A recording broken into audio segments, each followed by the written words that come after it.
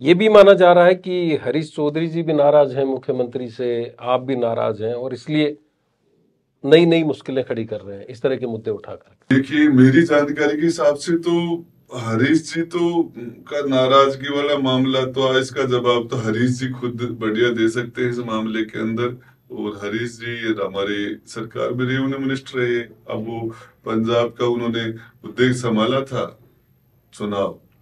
और एक व्यक्ति एक पद की वजह से उनको छोड़ना पड़ा। छोड़ना पड़ा था। तो इस मामले में दूसरी बात है कि वो मुख्यमंत्री जी विपक्ष में राजस्थान से जोधपुर से आते हैं हरीश जी बाड़मेर से आते हैं उनके पहले अच्छे संबंध भी रहे। मैं मुझे ये चाहता था। संबंध तो आपके भी अच्छे रहे मुख्यमंत्री से। हाँ मेरा संबंध रहे। तो अब क्या नाराज़गी है? सवाल ये उठता है कि राजेंद्र बुढ़ा को गुस्सा क्यों आता है? देखिए कोई नाराज़गी का कोई ज़्यादा सा इशू नहीं है। लेकिन हमारे साथ एक विधायक संदीप यादव है चित्ती चित्तीजारा से। तो छह में से आज उसके आज हम बैठे थे। और संदीप यादव से पूछ रहे थे तुझे जिस बोर्ड का अध्यक्ष बनाया उसका नाम क्या है? तो उसको पूछना पड़ा कि मैं जिस बोर्ड का उसका नाम कोई नहीं जानता।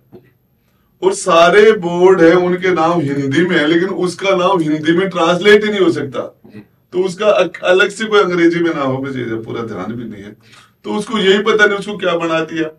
अभी मेरे पास लाखन जी हमारे विधायक जो डांग के क्षेत्र के अध्यक्ष हैं। डांग क्षेत्र विकास बोर्ड। हाँ उसके। और इधर ये वाजिब है मेरे दोस्त है। ये कह रहे थे हमारे पास न तो कोई ऑफ़िस है न हमारे पास कोई गाड़ी है और ये है। तो जब साथियों के साथ जब दुखी होंगे तो वो पीड़ा तो सामूहिक, वो मेरी मेरी ज़िम्मेदारी बड़ी है, मेरे पर उन्होंने ट्रस्ट भी किया था, आज मुझे बुलाना भी है।